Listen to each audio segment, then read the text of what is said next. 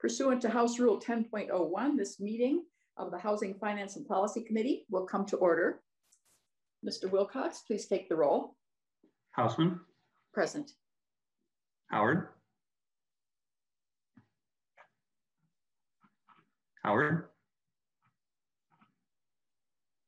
Theis. Present.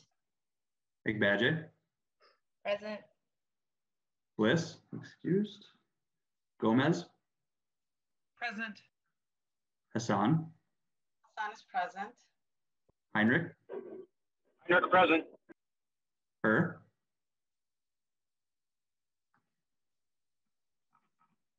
Her. Jurgens. Jurgens present. Olson. Present. Barr. Present. Reyer. Present. Howard. Present. Perfect. Madam Chair, we do have a quorum. Thank you. Uh, next order of business is approval of the minutes from Tuesday, March 16th. Representative Howard, uh, have you had a chance to review the minutes? I have. So moved, Madam Chair. Representative Howard moves approval of the minutes. Any discussion? If not, members, uh, please unmute yourselves for a voice vote. All those in favor of the motion say aye. Aye. Aye. aye. Opposed, nay. The motion prevails and the minutes are approved.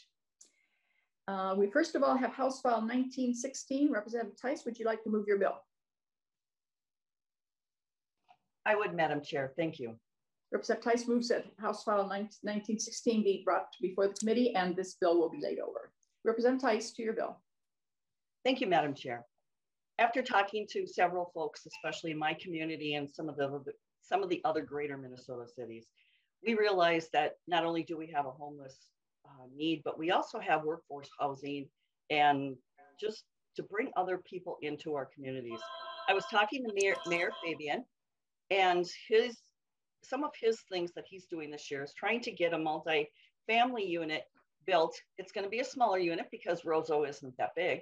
But what they're trying to do is bring people in just to see the community, to see what the jobs are available. They've got Digi, DigiKey and Polaris especially, and they're really looking to just show them what what they can have if they move up there. And uh, I would say a pretty darn cold place. Um, he's also talking about workforce housing. And I know in St. Cloud, I know in some of the other communities too around us, they really have an issue with where are they going to house folks. We've got so many places that are looking, but we've got a lot of manufacturing around us as well. And with that, I'm not going to say any more because I'm afraid I'll start sneezing. And I'll turn it over to either Chad or Scott, whichever one is going next. Thank we you. have Scott McMahon from the Greater Minnesota Partnership. Welcome to the committee. Please identify yourself for the record. Great, thank you, Madam Chair. My name is Scott McMahon. I'm the Executive Director of the Greater Minnesota Partnership, and I'm honored to be back before this committee uh, to talk about housing in Greater Minnesota. Uh, if you'll recall from my testimony a few weeks ago, when I kind of gave the overview of the challenges and opportunities we have in Greater Minnesota, uh, two things that I highlighted. One is that we do have a pretty significant workforce housing shortage uh, in a number of our communities. Uh, and a lot of that is driven by just the market realities that we face in Greater Minnesota, where when you look at the construction costs that we face, uh, often the the value of a newly built house is less than that construction cost, and so financing and getting that that project built is really challenging. Um, the reality that we face in a lot of our communities, though, is that we have we have houses in our communities that aren't lived in anymore. Um, but aren't part of the housing stock because they they've come under disrepair, and uh, you know we nobody's living in them. They can't live in them.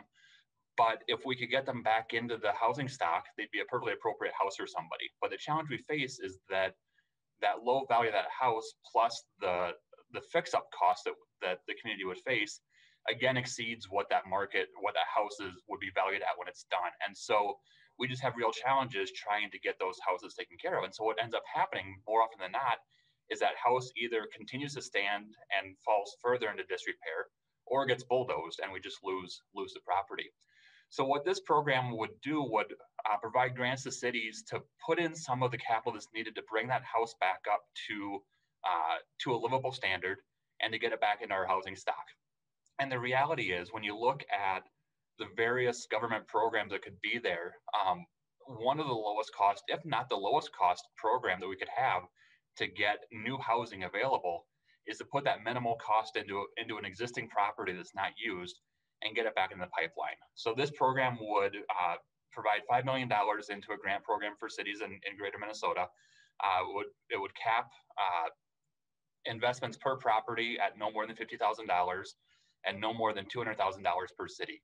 We think that this would have a really significant impact on, uh, on the cities that would be able to access this program and would be able to get a number of those houses that again are just sitting there vacant right now back into our pipeline and available for families to move into. So with that, I'm happy to answer any questions, but I know uh, Chad Adams from the Southwest Minnesota uh, Housing Partnership can provide greater insight into how, how an investment like this would actually play out when, once it's on the ground. Yes, we also have Chad Adams from the Southwest Minnesota Housing Partnership. Welcome to the committee. Please identify yourself.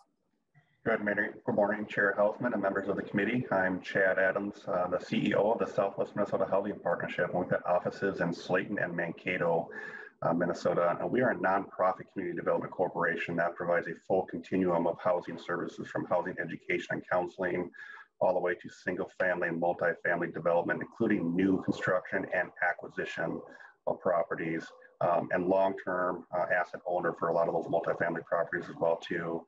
I've been the CEO for the partnership for about two years and previously, previously served about 20 years in city government management, most recently in Albert Lea, Minnesota, uh, where I worked with a lot of different stakeholders on workforce housing needs in Southeast Minnesota as well, so I've got some perspective and insight from Southwest, South Central, and Southern, Southeastern Minnesota as it relates to workforce housing. Um, so really want to kind of talk a little bit mostly uh, about uh, the need for workforce housing and how this fix-up fund uh, might specifically help uh, homeowners and to, to, share some statistics with you if you haven't seen those yet. Um, you know, I should also note that I was also elected as a co-chair of the Homes for All Coalition uh, this past year. So I'm representing over 270 endorsing organizations throughout the state as well too. As it relates to the Fix-Up Fund, uh, we are in regular contact with communities on a daily basis throughout our region on workforce housing needs. And workforce housing oftentimes, if not always, comes up as the most significant need that a community needs. And some of the uh, barriers that Mr. McMahon mentioned are critical um, to trying to remedy, particularly with that affordability gap and the appraisal gap, which I can speak to a little bit more. Uh, but the aging housing stock of homes is also just a growing issue. And despite the extraordinary demand for new single family homes throughout the, Southwest and South Central regions that we serve, the rehabilitation of homes are critical to meeting the workforce needs in greater Minnesota and really do remain more economical than building new construction, particularly with the pre and post pandemic rise in construction costs, which I'm sure you've heard a lot about. Uh, rehab, rehabbing the homes will also help communities preserve their tax base and avoid substandard nuisance properties from being established that ultimately decrease the market value of neighboring properties, but also becomes very expensive for taxpayers to pay for the demolition of such dilapidated homes and I've got a lot of experience with that working in the municipal field and cities having to go in and go through that process and spend oftentimes twenty to fifty thousand dollars to take down one specific home that's become dilapidated. Uh, it'd be best if we could preserve uh, those housing projects into the pipeline, pipeline, as Mr. McMahon mentioned. And according to some to some statistics recently published by the Minnesota uh, Housing uh, Preservation Partnership, I'm sorry, 40% of single family homes were built before 1970 throughout the entirety of the state. Just in the southern region of the state, which represents South Central and Southeast Minnesota, that number increases to 46%. However, there has been a fair amount of new construction in Blue Earth and Olmsted uh, counties, which are in that region. You take those two counties out, you look at counties like Martin, Faribault, Mower, Freeborn, 60% of the homes in the counties, the remaining counties, have been built before 1970. The same thing in the southwest region of the state, uh, where there's 18 different counties represented. They're amongst the highest um, in the entirety of the state with homes that are built prior to 1970. So it just emphasizes a need for ongoing rehabilitation and repair. And I should also just note that there needs to be a new funding source and program that has a quick turnaround uh, for meeting some of these needs. There are some other existing programs out there uh, throughout the state, but um, oftentimes they take a fair amount of time to go through the process. It might be two years down the road until the property owner um, or owner of that home actually sees a benefit. So there is need uh, to get some more funding in the pipeline, but also to diversify the tools um, that are out there specifically. As Scott had mentioned earlier, a big significant barrier is the appraisal of some of these homes in greater Minnesota. We're oftentimes finding either for a new construction or even for a rehabbed home that the appraised value is 20, 30, $40,000 less uh, than what it is to cost to construct that home uh, and list it or to basically repair that home and put it back on the market. Uh, so I just really wanted to emphasize that uh, today.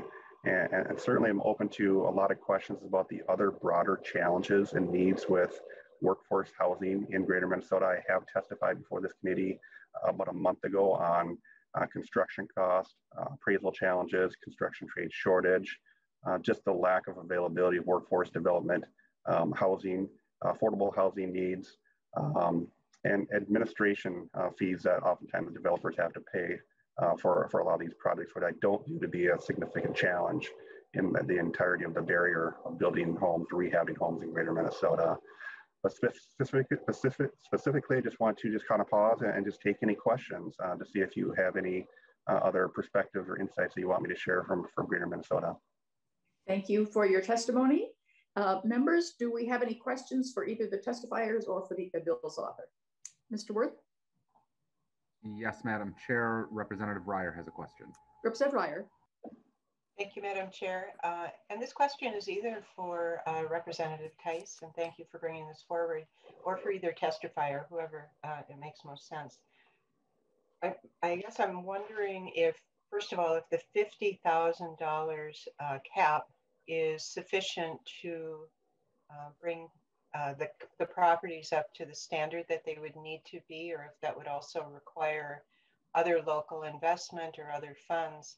And also, um, I was struck by the um, comment that it, cities are and towns are spending twenty to fifty thousand dollars to tear down dilapidated structures. Is there a, a, a regulatory or legal barrier to using those funds to instead invest in the property? And, and are there different ways to think about that? Thank you. Uh, either Mr. McMahon or Mr. Adams, who, who wants to step up? Well, Madam Chair, I think uh, I think Mr. Adams might be better equipped to, to address the second part of the question. But as to the first part of the question on the fifty thousand dollar cap, um, you know, we're we're trying to see what would happen with an investment uh, opportunity like this. And you know, our general sense is that if it's going to be more than fifty thousand dollars to do it, we may in fact be better. If it needs that much work on the house, we may in fact be better off uh, removing that house. Um, but also with the cap of fifty thousand dollars, it allows us to to spread that investment into more communities and have a bigger impact on the total number of properties rather than limiting the number of properties that can be brought back online. Thank you.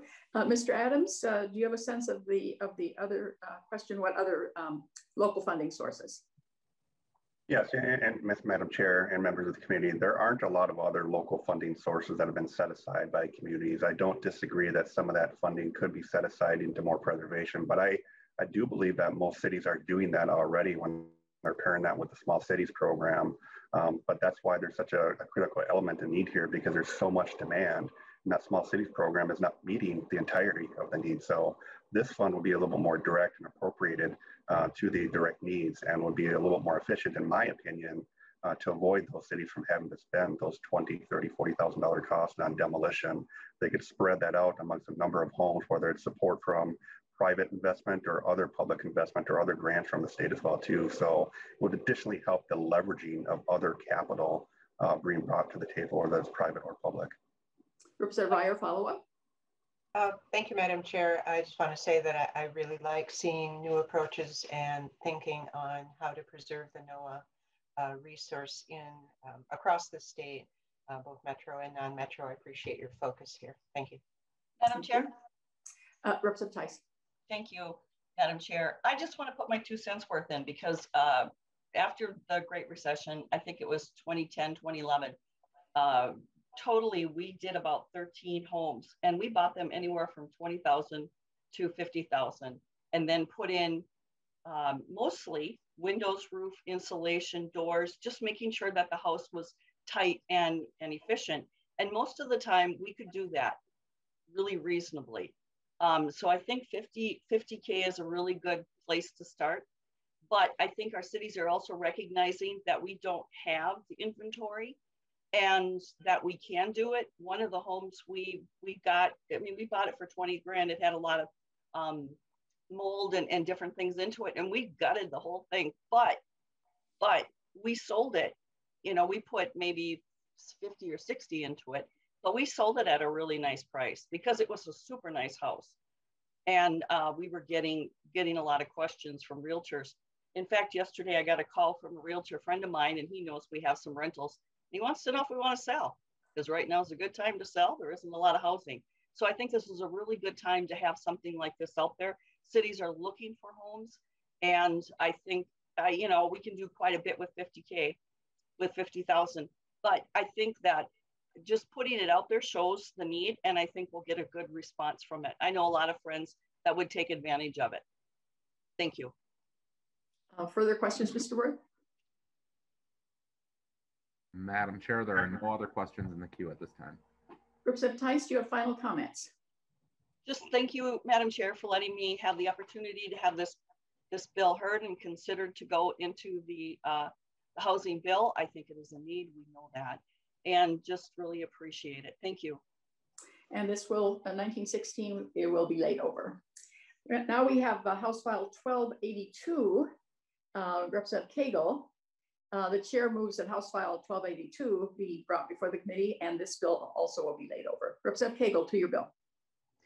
Thank you, Madam Chair and members. Um, House File 1282 is an appropriation to help with um, how, or with infrastructure in uh, manufactured housing communities. Aging and failing infrastructure systems in manufactured housing communities pose the biggest threat to closure and displacement of homeowners across the state.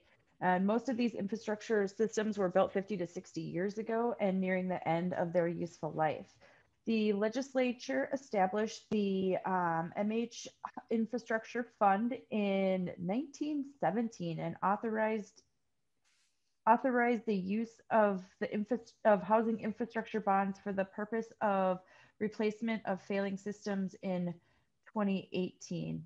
I'm gonna have to check my notes and make sure that was really 1917. That seems like a long time ago. Um, the legislature provided $2 million in funding for this purpose in 2019 with an annual base appropriation of 1 million annually.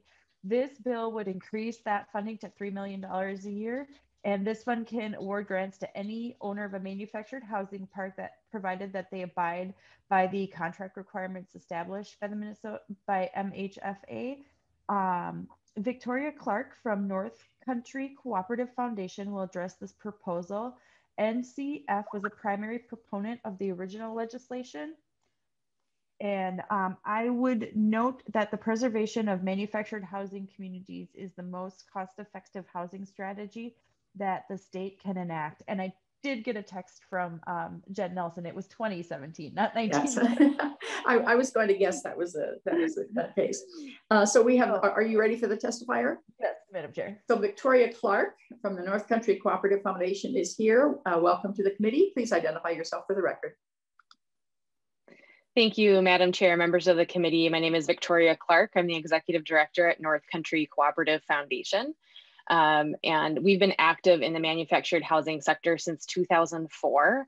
Uh, when we completed our first conversion of a manufactured home community working with the residents of Sunrise Villa uh, Cooperative in Cannon Falls, Minnesota. That was our first uh, manufactured home community that we worked with. And since that time, uh, we've converted nine manufactured home communities to co-op ownership across the state, serving a little over 700 households.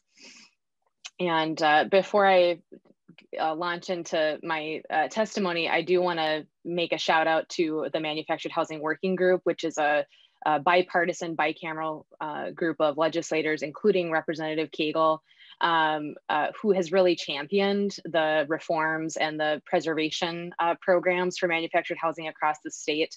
That group has been absolutely instrumental in both the creation of this and establishment of this fund uh, that we're talking about today in 2017, um, and many other efforts. Uh, so I want to thank all the legislators that are part of that, that work. Um, as Representative Koegel mentioned, one of the biggest uh, challenges facing manufactured home communities across the state is aging infrastructure systems. Um, you know, all manufactured home communities, predominantly all um, the, the infrastructure systems, including water, sewer, roads, electrical, is all privately owned. So these are like little small cities, and many of them built in the 1950s and, and 60s. So they're reaching the end of their the these systems if they haven't been rehabilitated and maintained over the years are reaching the end of their useful life. And the failure of these systems is the, the primary cause of, of, of uh, community closures, uh, which we have seen an uptick in uh, since the state started tracking those closures. Um, uh, I believe they started tracking park closures in 2015 um, or no, 2005, if I'm not mistaken. And our organization has personally worked with um, our, our client co-ops to complete over $4 million worth of infrastructure improvement projects, including two most recently, one in Madelia, Minnesota, one of our co-ops in Madelia and one in Worthington, Minnesota. Um, and uh, those projects were funded uh, through the first round of funding from this Manufactured Housing Infrastructure Fund. Uh, so we're already putting these dollars to good use uh, in, in preserving these, these systems and the affordable housing uh, that they support. And we do have $5 million in our own pipeline um, across our portfolio of co-ops that we support over $5 million worth of um, uh, infrastructure improvements that are necessary. Um, so just in our existing portfolio, you know, we have enough projects to uh, for many years. Um, and I think that the, the best example of the need for an increased appropriation into this fund uh, really is demonstrated by the the sheer amount of applications that were received by Minnesota Housing in the first round um, of proposals. Uh, that first round of funding was issued in fall of 2020 and the funding awards were made in in uh, just before the holiday, uh, the the holiday break in in 2020. And Minnesota Housing received nine um, applications, uh, funding proposals to that first round, um, of which there was two million dollars available in that first round of funding, and the, the agency received over five million dollars worth of applications. Um, and they were able, the agency was able to um, uh, approve funding for uh, uh, $2.6 million, even though there was $2 million available. Um, with the work of the Manufactured Housing Working Group uh, a couple of years ago, we uh, uh, we received expansion of the housing infrastructure bonds. So the agency was able to do a bond sale of 600,000 to support to go over and above the $2 million that they had in that appropriation for that fund. Um, so they uh, were able to stretch it across those five proposals. Two of those projects funded were um, in our resident owned communities, which I mentioned in Madelia and Worthington, and three were for privately owned um, uh, communities. So, you know, the needs are great across the state, regardless of, of the type of ownership. Um, and this fund serves them all uh, uh equally. So, uh, great amount of need and, and serving communities across the state. Uh, it's worth mentioning that in addition to bringing dedicated resources to these types of projects, we also need to address the timeliness of being able to access these funds. Um, right now, the RFP schedule for uh, this fund is scheduled for once a year which makes it uh, challenging, especially for new projects. Uh, this is something that we're in conversations with Minnesota Housing about, but it's it's worth mentioning um, that and, and that's the case for a lot of these um, appropriated uh, uh, funds for particular uh, types of projects across the state is the timeliness of when we can access the funds and once a year RFP schedules make it challenging for developers uh, for, for obvious reasons when they're working on a time bound project.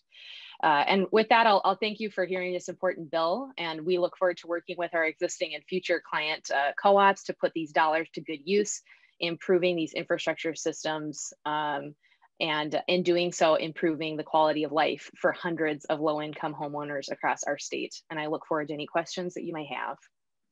Thank you. Uh, Mr. Worth, do we have question, uh, committee uh, members that this would be uh, questions of either the bill author or the testifier? Mr. Worth. Yes, Madam Chair, Representative Reyer has a question. Representative Reyer. Uh, thank you, Madam Chair. Uh, thank you, Representative Koegel, for bringing this bill forward. Uh, I think it's really timely to make sure that we can keep these communities as communities um, and let them uh, get restored and flourish. Uh, my question is about whether we are considering the creation of new communities. Uh, I've heard, I, I, am not recalling any testimony about that over past hearings, but it seems to me that it's an affordable option for expanding existing housing or the, the, the whole housing stock. My in-laws have lived in manufactured housing for decades. Um, I've seen the deterioration, but I've also seen the benefits. And, um, and so would be interested in how we can leverage this whole approach. Thank you. Representative Koegel, uh, do you want to take that or would you like your testifier to? Madam Chair, I think I'd like to address one piece of it and then let my um, testifier um, address the other. I think the thing that we, uh, you know, manufactured housing is affordable housing um, if we can get it to real property status, I guess, um, or, you know, make sure that we can have, um, right now, the, the people with who have manu who are looking to buy a manufactured home don't qualify for traditional housing lending and so um, it makes it a, it more expensive. Um, even though it, it is an affordable housing product, the terms of the loans are not affordable. And so um, I think you know if we can start to address some of those issues, um, I I could see in the future that more um, you know manufactured home communities would pop up because it would be a more attractive um, housing option for people. And I don't know if Ms. Clark has anything to add on that. Ms. Clark, do you have further to add? Yes, absolutely. Yeah, Representative Koegel is right on uh, with the need to, uh, uh, you know, make reforms to how manufactured housing in a land lease setting, so in, in a park setting, in a community setting, um, where you don't own the land uh, and, and improving that. And, and we are working, this committee heard a bill um, uh, to, to reform how manufactured homes in a resident owned community are titled. Uh, so we're hopeful that that gets passed this year because that is a, that's a critical part of the piece of the puzzle here.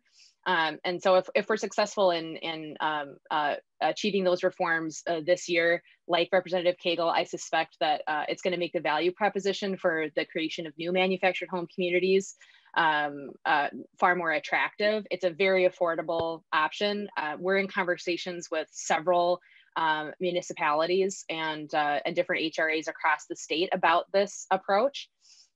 Uh, so we're excited to do a, a new uh, project. Uh, we're just looking for the the right uh, um, the right piece of land and uh, and pulling the pieces together on the single family finance side um, related to that title reform. But yes, uh, you know we're raring to go to do a new project and um, hopefully we'll we'll have more to report next year this time on uh, uh, on a new manufactured home community project uh, that's a co-op right out of the gate.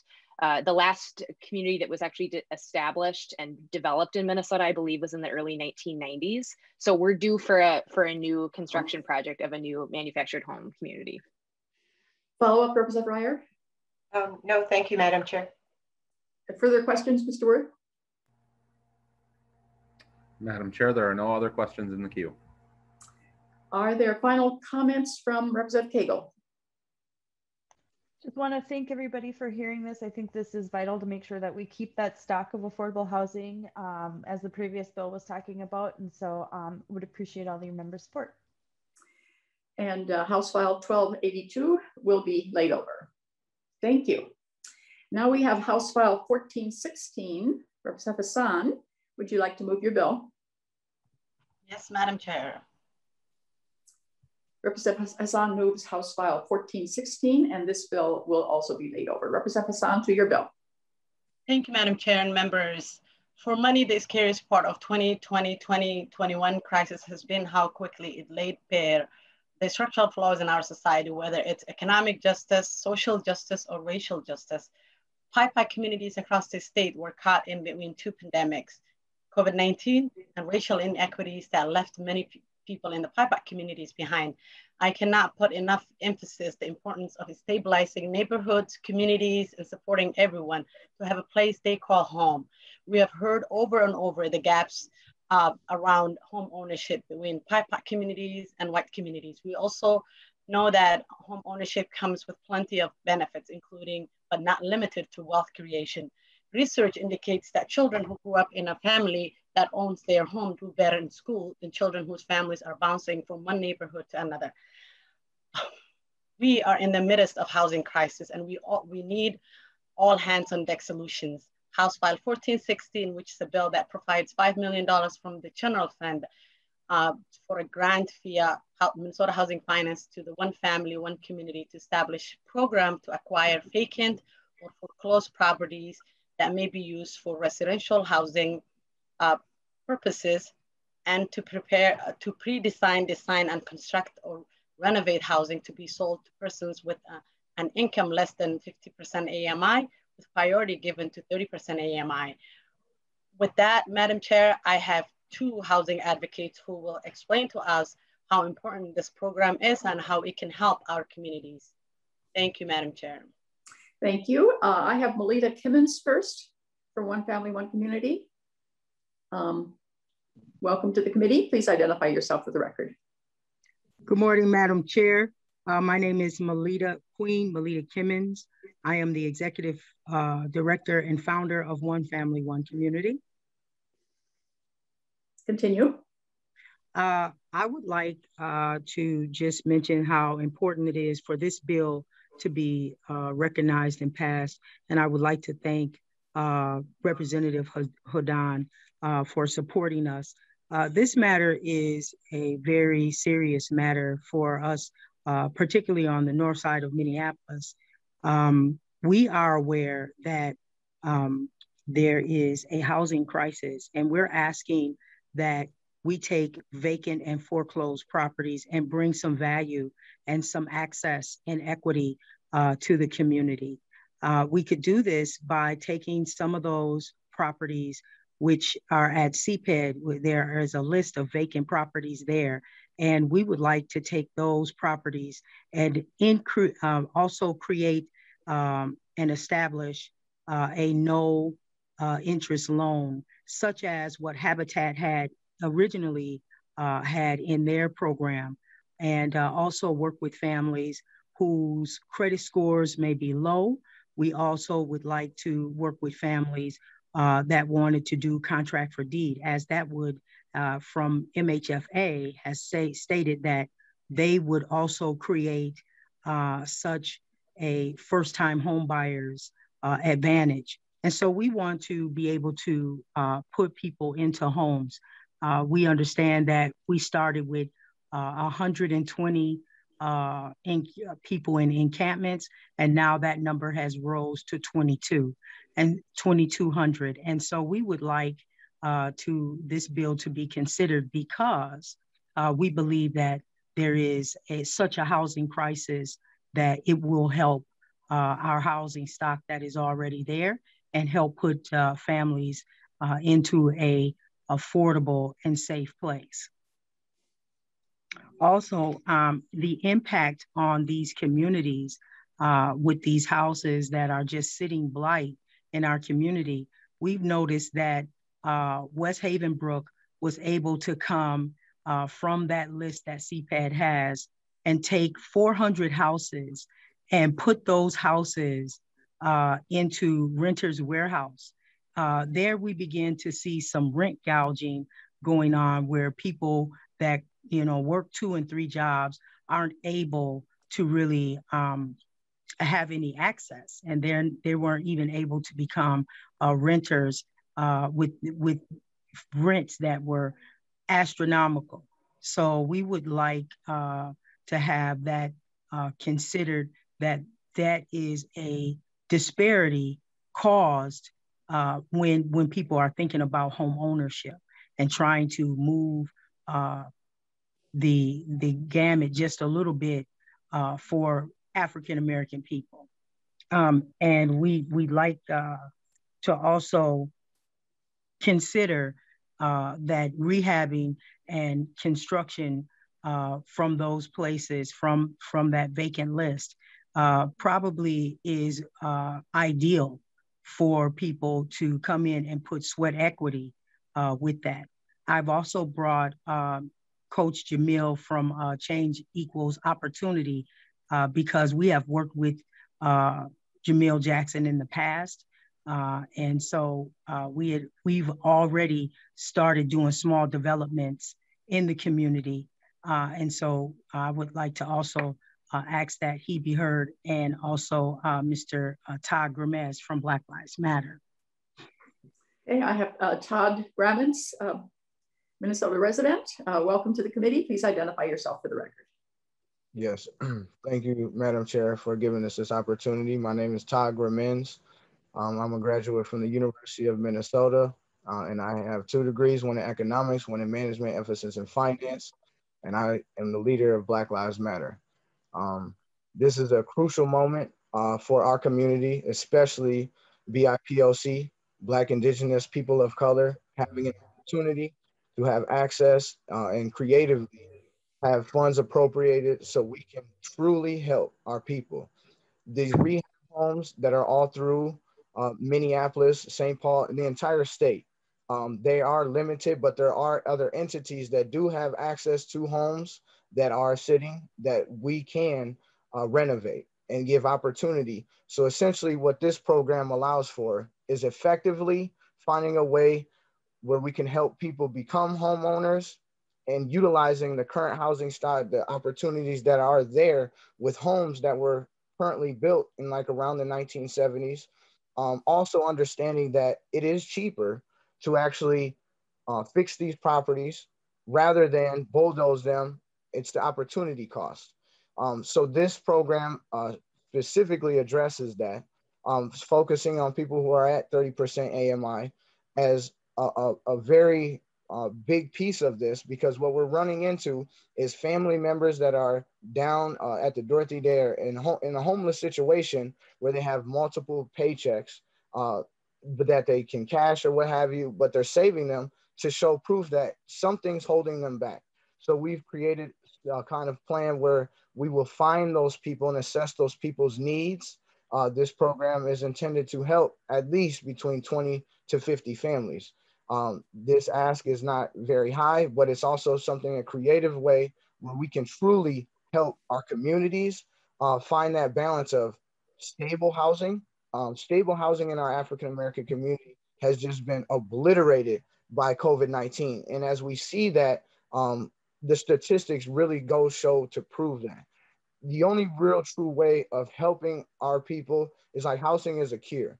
This is an opportunity uh, to give people in the community uh, hope um, and show them uh, that sweat equity as we see an uptick in crime. I do know for a fact that having a, an opportunity for people to become homeowners, show pride in their community, and have stable housing is the the the pioneering piece of bringing success back into communities and prosperity within communities. And it is a crucial time for uh, legislature um, to truly hear out, um, you know, the outcry of other community about how this program in and of itself uh, stands alone in the aspect of giving uh, youth hope. Uh, so there's been initiatives over in North Minneapolis as well, uh, along the lines of uh, uh, guns down, hammers up, utilizing youth to show them how to finish a house, what that means, and remodel these homes and get them out of these current situations where there's bad environment involved and getting them into something positive. And we've uniquely been able to do such a thing through this kind of idea. Um, and so now we just want to take it to another level. And so this would uh, uh, allow more funding to help us directly, effectively take youth uh, and other adults alike to teach them the ropes on how to become homeowners, but also give them hope because a lot of the COVID 19 restrictions have allowed for people to have to separate. Um, and so the normal things that kids would do in the community, like play basketball, play with their friends, play sports, all of those things have now been limited. This is also like a mindset thing of uh, allowing us to social distance and rehab these properties in such a way um, we creatively are doing it um, to incorporate people that live in that community. The idea of having a deed for sale um, and offering this to community members is crucial because then they can um, work on their way to home ownership. And that's the kind of longevity behind this program is to uh, for people in their certain communities to be able to have a stake in that um, and then also have build pride in that and to help uplift these communities uh, any community that truly is struggling um, with housing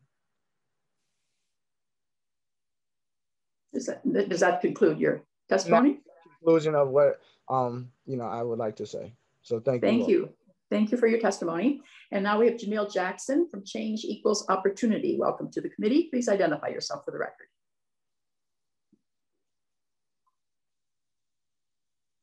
CEO, which stands for Change Equals Opportunity. Our focus is on the mentorship of males of color aged 12 to 25 in the areas of education, employment, and life skills. I am also a consultant for the City of Minneapolis Office of Violence Prevention. Do you have a little more volume that you can give? Oh, there we go. Is that better? A little better. Okay, I'm sorry. I am also um, a consultant for the Office of Violence Prevention. Um, and I am a teacher within Minneapolis Public Schools with the Office of Black Male Student Achievement. Uh, I'm here to testify on behalf of this bill because I believe it is very instrumental for our community to get some assistance with uh, housing for our youth and our, our families in need.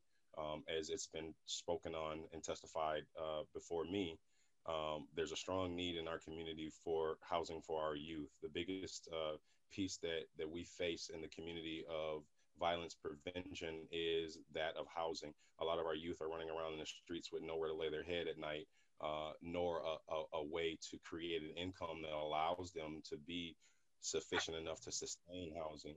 Um, I myself, through my organizations, we only hire youth and felons. Um, and we use uh, interior remodeling. I own an interior remodeling business. We use that as a way to mentor youth, to teach them about entrepreneurships, uh, generational wealth, and uh, just life skills in general the biggest uh, conversations that I have again are about homelessness and where to sleep at night. We spend a lot of our money, uh, myself and Queen, on getting renting hotel rooms for these these families and these young people who can't find stable housing because of their track records or because of their inability to raise enough money for the the price of rents that are are spiking out of control. Um, I believe that this bill will allow us not only to open the door for uh, home ownership of our younger people to create that generational wealth. But being an, uh, uh, I'm sorry, being a contractor, I'm seeing these houses that do have equity in them being sold off market before they're even allowed uh, for general public to see for uh, for our community to invest in those properties and, and to be able to get that equity and gain generational wealth. Um, so I truly believe that this will be a benefit for our community holistically uh, moving forward to stop crime, to create generational wealth, and to allow our families to see the fruits of their labor uh, as it relates to home ownership. And I'll end there. Thank you for your testimony. Um, and members, uh, are there any questions of either our testifiers or the bill's author? Mr. Worth? Madam Chair, Representative Howard has a question. Representative Howard. Uh, thank you, Madam Chair and Representative Hassan and to the testifiers for bringing uh, a really innovative uh, bill forward. And it just strikes me how much it, uh, uh, it hits on many of the sort of values that we care about in terms of creating opportunities for our youth, um, while also creating pathways to home ownership, in particular for our BIPOC communities. And I just wanted to make a comment about an article I read in the paper uh, this morning uh, that focused on the current homeownership market. I believe the headline said it's insane uh, because of just how many, um, just the mismatch of supply and demand, and how any sort of house that's coming on the market is getting dozens of offers, the price is being driven up. Um, and I just had a conversation with some realtors this week that talked about what a challenge this is causing, especially for someone who's trying to get into home ownership for the very first time. Um, somebody might have access to a down payment assistance uh, program, uh, but for a seller, it may be easier to to go with a cash offer or easier to to pick a uh, someone who's able to um, you know skip some of the inspections or, or what have you. And it just what struck me is how much that if um, if we allow sort of market forces or the status quo to continue, things aren't going to get better. They're going to get much worse. And so uh, proposals like this that aim to uh, focus where our solutions need to be in terms of our home ownership equity gap um, and ones that think outside the box, frankly, are, are super uh, well received by me and I think they should uh, move forward. And so thank you for bringing the bill forward, Representative Hassan, and to the testifiers for all your work. Thank you, uh, Representative Howard. Uh, Representative Mr. Worth, do we have any anyone else? Madam Chair, Representative Agbaje has a question. Representative Agbaje. Uh, thank you, Madam Chair, and uh, thank you, Representative Hassan, for bringing this bill forward. I just want to uh, continue to lend my support for it. I um, have also met with the testifiers before, and I'm really glad to see that, you know, hopefully that this is something that can come to fruition. It's especially needed um, in neighborhoods in my district. Um, you know, I walk walk around and drive around and see, you know, the homes that could be available that are unused right now, that are left vacant. And so a program like this would really be helpful to the housing stock that we have to kind of save what we have and rehabilitate it and make sure that we do have um, affordable housing for more people um, across the state of Minnesota. So I'm really, again, grateful for, for that this bill is being brought forward. Um, and I think it also speaks to the fact that it will help increase people's um, peace of mind during this time period to know that they have a safe and stable place to live. Um, I recently had a town hall with Commissioner Ho and, and a director from Catholic Charities, and they talked extensively about how this is one of the main issues causing mental health crisis because people don't know where they're going to stay. Um, so this is just a brief question. I don't know if maybe this was touched on already, but if one of the testifiers wants to just speak to the um, how like how many homes have you guys seen that are that would be affected by this program were it to be implemented and how many do you think you could get up going right away would that be for ms Kimmins or mr Grimmins? ms Kimmins. kimmons ms Kimmins? thank you thank you again uh, uh, madam chair and uh, representative Agbaje uh, i believe that uh, what we have researched and found was there was a total of 700 vacant homes located in the city's department at uh, the community planning and economic development. We would be able uh, to do at least 20 of those homes uh, and have those ready within, mm, I would say, so far we've been doing uh, that in 60 days. We would, I would say, given the, if we added uh, those 20 homes, we would need at least uh, 90 days uh, to get those uh, operable and brought up to code.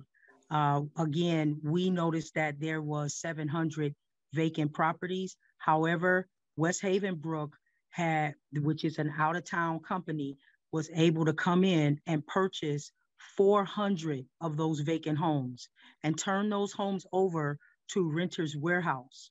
And uh, that just really crippled North Minneapolis because some people who are paying, they were paying like $900 for a two bedroom, are now paying $1,800, working two and three jobs per uh, household.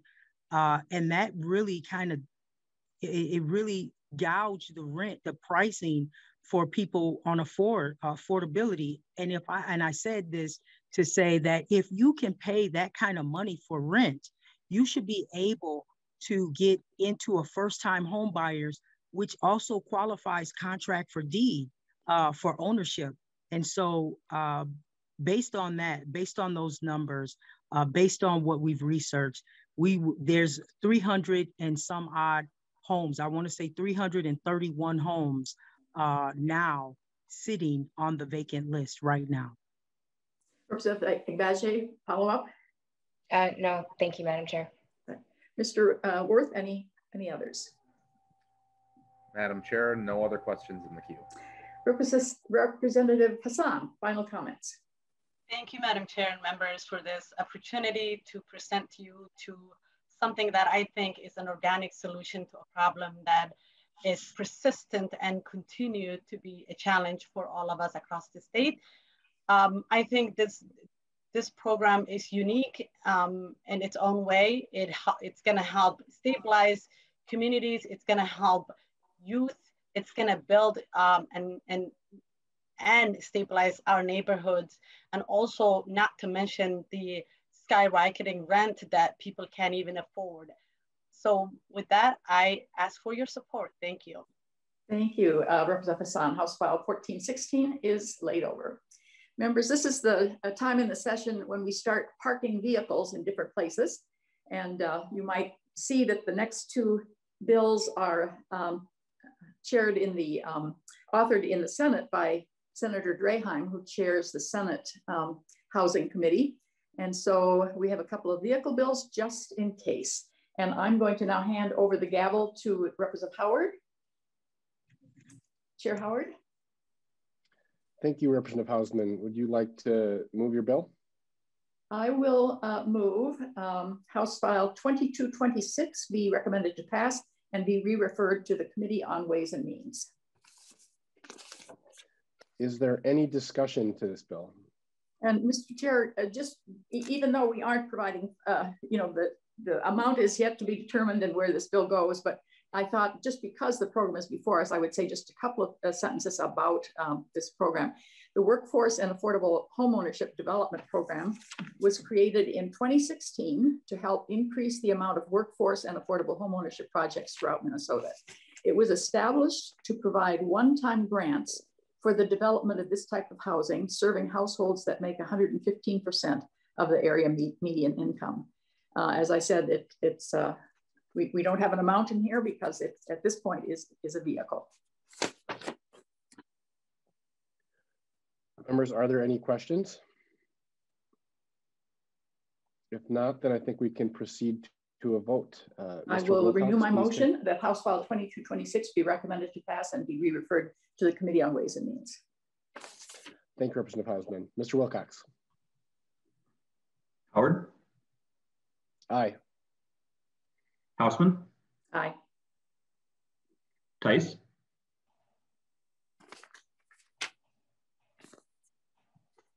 Aye. Agbaje? Aye. Bliss excused. Gomez? Aye. Hassan?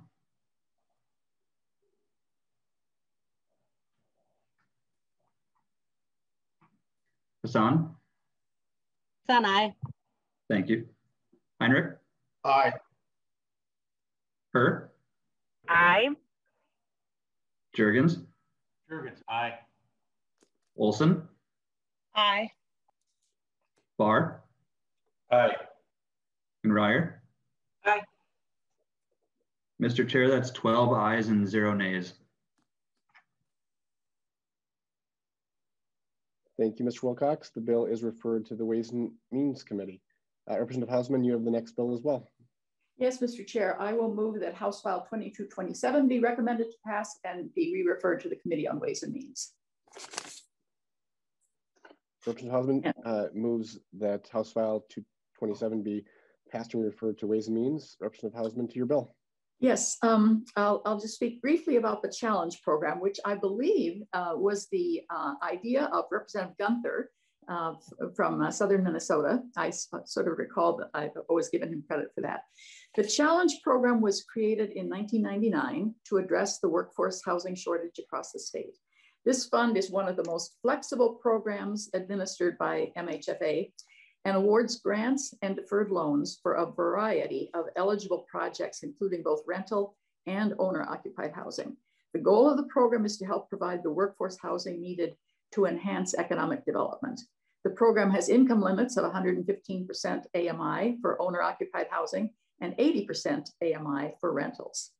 Um, and as I said, um, no, no dollar amount in this bill. Are there any questions for Representative Hausman? If not, would you like to renew your motion, Representative Hausman?